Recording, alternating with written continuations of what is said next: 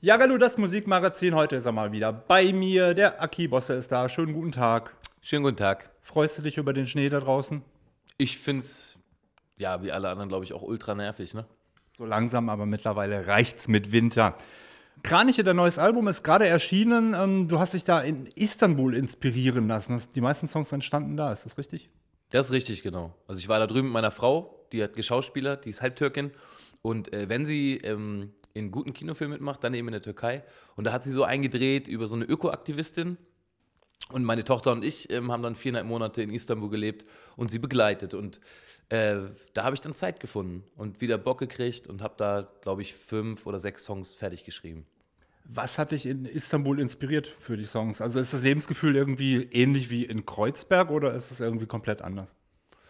Ja, es ist irgendwie komplett anders und irgendwie auch nicht. Aber also wenn man jetzt so denkt, Tokio oder, äh, oder New York oder Berlin sind Großstädte, dann finde ich, ist Istanbul auf jeden Fall noch wuseliger und noch voller, noch mehr voller Adrenalin, kann man vielleicht sagen. Also ich hatte da so das Gefühl, dass da gerade irgendwie eine Menge im Umbruch ist und total viel entsteht und die Leute sind einfach vom Altersdurchschnitt ultra jung.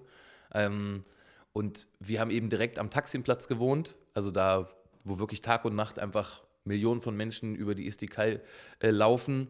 Und ich hatte schon so in den ersten zwei Wochen so ein bisschen das Gefühl, dass ich mich erstmal daran gewöhnen muss. Und als ich dann, als wir dann so wirklich angekommen waren, war es eben sehr inspirierend, wie ich fand, und äh, interessant und viel zu gucken, gute Kunstsachen gesehen, in guten Clubs gewesen und vor allen Dingen aber auch eine schöne Wohnung gehabt, wo man echt gut schreiben konnte. Und alles das war irgendwie so weit weg von Hamburg und von dem, was ich sonst so habe, dass ich das als total inspirierend empfunden habe, ja. Soundtechnisch finde ich, hast du dich ja wirklich irgendwie, ähm, wie soll man sagen, weiterentwickelt oder gewandelt. Also die Akustikgitarre tritt immer mehr in den Hintergrund so. Ähm, jetzt bei dem neuen Album hört man dann auch mal äh, Akkordeon, was habe ich noch gehört? Klavier natürlich ganz stark im Vordergrund, alleine schon, schon bei, der, bei der ersten Single, schönste Zeit. Ähm, dann habe ich was gelesen von einem Sass, was war das? Sass-Instrument? Was ist das für... Naja, es gibt eben drei türkische Instrumente, Sass, Ud und die Kürbisgeige. Genau, und da habe ich eben, das war auch das er- erste Lied des Albums, war Istanbul, das habe ich eben auch direkt dort geschrieben. Und äh, da trifft so, treffen so türkische Folklore-Instrumente auf, auf so ein paar Tanzgitarren. Und ähm, genau, ich glaube, das ist, ist ein Indie-Pop-Song geworden mit, mit türkischen Instrumenten, was ich so ganz abgefahren fand.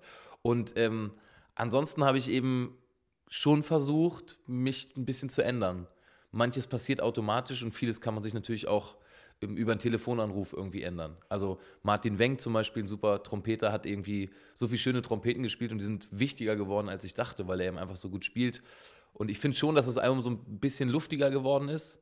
Und wir haben vor allen Dingen alles live ähm, äh, aufgenommen, das heißt, es ist wenig am Rechner gearbeitet, weniger Synthes, außer so der alte Juno. Ähm, und ich glaube, das hat den Sound einfach auch so verändert. Also diese Oldschool-Instrumente, wie jetzt ja eben angesprochene Juno irgendwie, wie, kommt man da drauf so als Musiker? Probiert man dann halt dies und jenes mal aus oder? Ja, ja, also da habe ich mit Philipp, meinem, meinem Produzenten, haben wir eben super viel ausprobiert und ähm, am Ende war es aber immer der Juno, der gegen, gegen alle anderen Synthes irgendwie gewonnen hat. Und ich weiß nicht, ich finde es schon knarziger geworden, das Album. Das liegt wahrscheinlich auch am Juno. Und ähm, na, ich, also ist, für mich ist es jetzt so im Nachhinein, wenn ich so höre, es ist schon handgemachter als die anderen davor. Taxi war vielleicht noch so ähnlich, Wartesaal ist aber um einiges kälter, so von der Anmutung. Und das liegt, glaube ich, schon daran, dass wir da einfach mehr Synthes benutzt haben. Das ist, liegt schon noch so ein bisschen weiter weg von einem. Und mir war diesmal so wichtig, dass jeder Song das bekommt, was er auch verdient. Und ähm, das war vor allen Dingen Wärme, fand ich dann am Ende. Und vor allem auch Abwechslung. Also es ist ja wirklich so, dass keiner dem, dem nächsten in irgendeiner Form gleicht oder irgendwie ähnelt. So. Also es ist irgendwie schon ganz spannend. Ich würde sagen, wir schauen mal ganz kurz in das Video von, von Schönste Zeit rein, damit die Zuschauer mal einen kleinen Eindruck bekommen. Das war die schönste Zeit, die schönste Zeit, weil alles dort begann. Die schönste Zeit und Berlin war wie New York,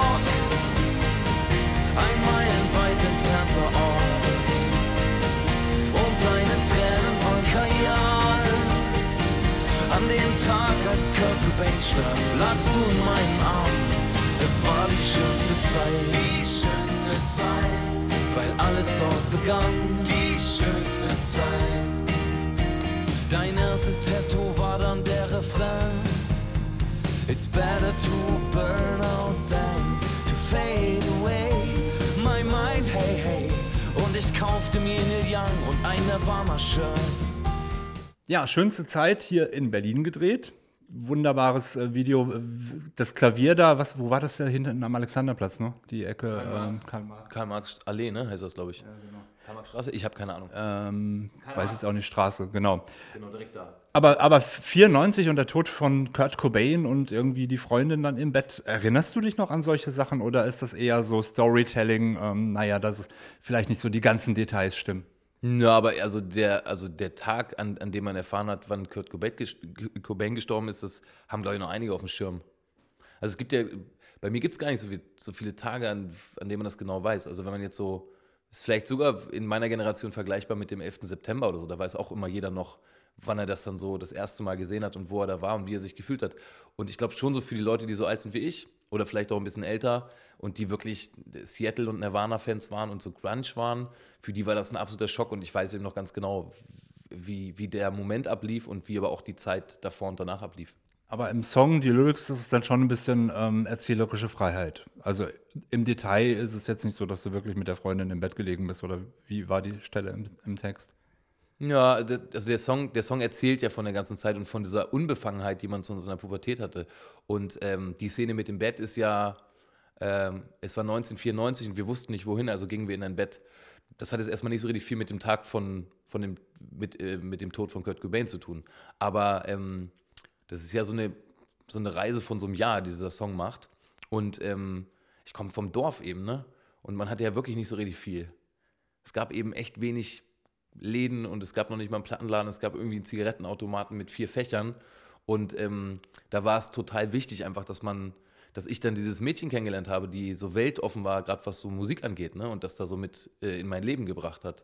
Und ähm, genau, darum geht der Song. Das war die schönste Zeit, die schönste Zeit, weil alles dort begann. Die schönste Zeit und Berlin war wie New York, ein meilenweit entfernter Ort.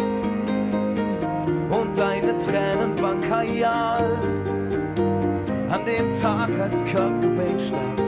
Ja, und im April geht's auf die große Kraniche Tournee. Hast du wunderbaren Support. Elif ist beispielsweise dabei, Tonbandgerät. Wen hast du denn noch ausgesucht? Herrenmagazin, Superband aus Hamburg, Jacques Bourga aus Berlin. Ist, ähm, für mich eigentlich so meine Neuentdeckung der letzten zwei Jahre.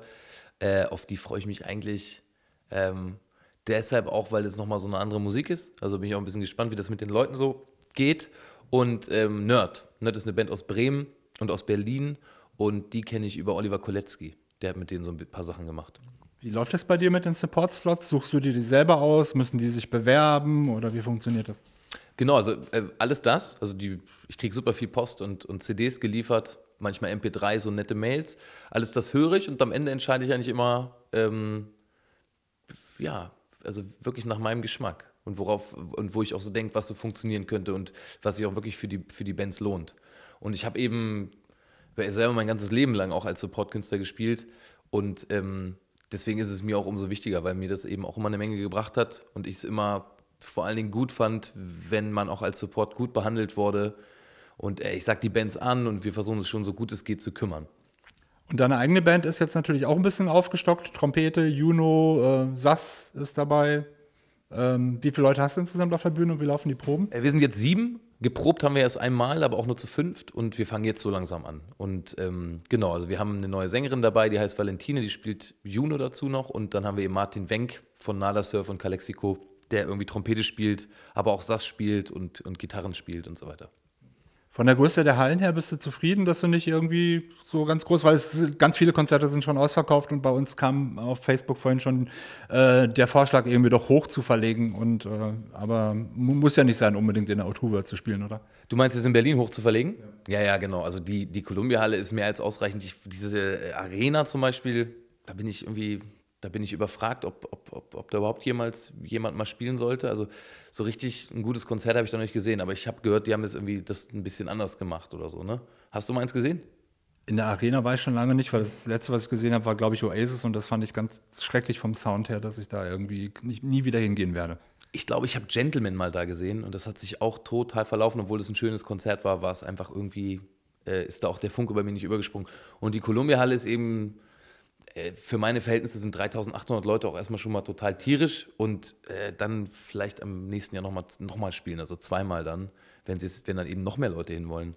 Aber ansonsten, was gibt es denn noch? Die O2, hm, weiß ich noch nicht. Max-Schmeling-Halle, Velodrom, ja. das waren sie, glaube ich. Aber im Zweifel lieber zweimal in kleineren Venues und Richtig. Spaß haben, als irgendwie so eine Riesenhalle. Genau. Sehr gut, dann sage ich lieben Dank, dass du wieder da warst. Ähm, ABZ werden wir gleich noch sehen, beziehungsweise das kriegen natürlich die Zuschauer draußen an den Fernsehbildschirmen nur online zu sehen bei uns auf der Homepage nagelneu www.jagalu.com. Da gibt es auch die Bosse-Videos zu sehen, also schaut mal drauf. Bis denn.